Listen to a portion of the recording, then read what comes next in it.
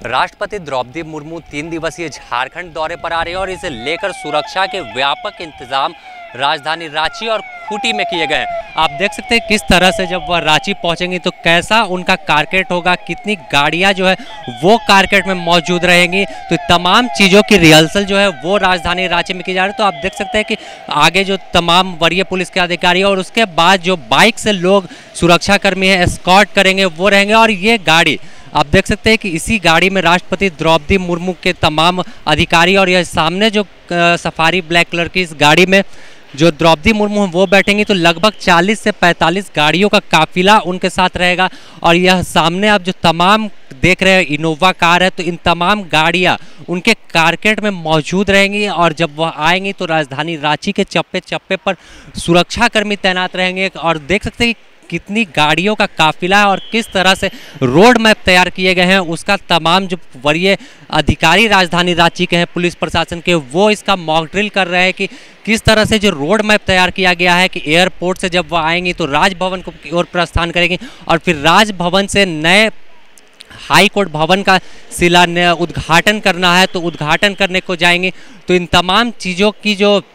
रूपरेखा है, वो पूरी तरह से तैयार कर ली गई है और इसे लेकर अब मॉक ड्रिल किया जा रहा है कि कैसी तैयारी है और अगर हम बात करें, इस दौरान तो दिखा सकते हैं आपको कि किस तरह की सुरक्षा के इंतज़ाम किए गए हैं। लगभग तीन हज़ार से अधिक जवानों की तैनाती की गई है। तमाम जो रोड गली मोहल्ले को लगते हैं, उस वहाँ पर बैरिकेटिंग कर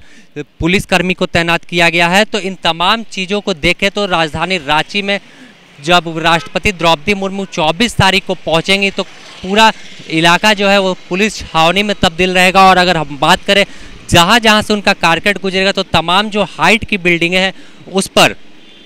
स्पेशल जो स्नाइपर होते हैं, जो सुरक्षाकर्मी होते हैं ट्रेंड उन्हें तैनात किया जाएगा और तो पूरी राजधानी रांची जो है, वो पुलिस छावनी में तब्दील रहेगी। तो आप देखा किस तरह की सुरक्षा व्यवस्था है और कैसा उनका कारकेट रहेगा कौन सी गाड़ी में द्रौपदी मुर्मू पहुँचेंगे तो आपको बता दें कि द्रौपदी मुर्मू राष्ट्रपति बनने के बाद दूसरी बार झारखंड आ रही है और इसे लेकर तमाम झारखंड वासियों में काफ़ी उत्साह का माहौल देखा जा रहा है। अगर हम बात करें द्रौपदी मुर्मू के कार्यक्रम की तो 24 तारीख को समय 11 बजे निर्धारित किया गया है कि वह रांची एयरपोर्ट पर पहुँच जाएँगे और एयरपोर्ट से सीधे वह राजभवन की ओर कुछ करेंगे। इसी रास्ते से राजभवन की ओर जाएँगे और उसके बाद राजभवन में कुछ देर विश्राम करने के बाद दोबारा से वह राजभवन से उनका कारकेट निकलेगा। और फिर आपको दिखाए तो ये जो रास्ता है, इसी रास्ते से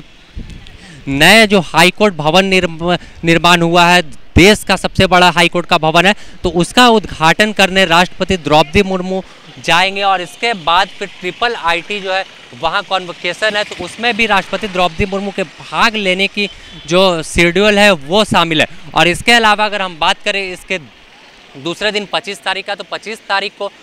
खूटी ज़िले में उनका कार्यक्रम है, बिरसा कॉलेज मैदान में। वहाँ पर भी तैयारी पूरी अंतिम चरण पर है, क्योंकि द्रौपदी मुर्मू वहाँ पर आंगनबाड़ी सेविका हो या स्वास्थ्य सहिया हो और स्वयं सहायता के समूह की महिलाओं के साथ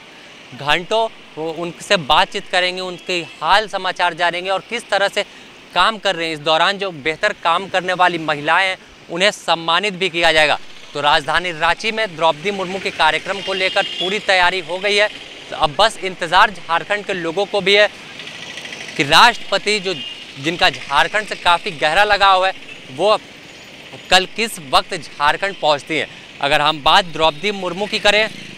तो जब झारखंड की राज्यपाल थी तो काफ़ी उनका जो कार्यकाल था सरल रहा, तमाम लोग उनके कार्यकाल की हमेशा सराहना करते रहे। तो एक सरल स्वभाव की महिला हैं और उन्हें राष्ट्रपति उन बनाया गया तो ये झारखंड के लिए भी गर्व का बात है और राष्ट्रपति बनने के बाद अब दूसरी बार झारखंड दौरे पर आ रही हैं। द न्यूज़ पोस्ट में फ़िलहाल इतना ही, अपने सहयोगी संतोष के साथ, Sameer the news post, Ranchi.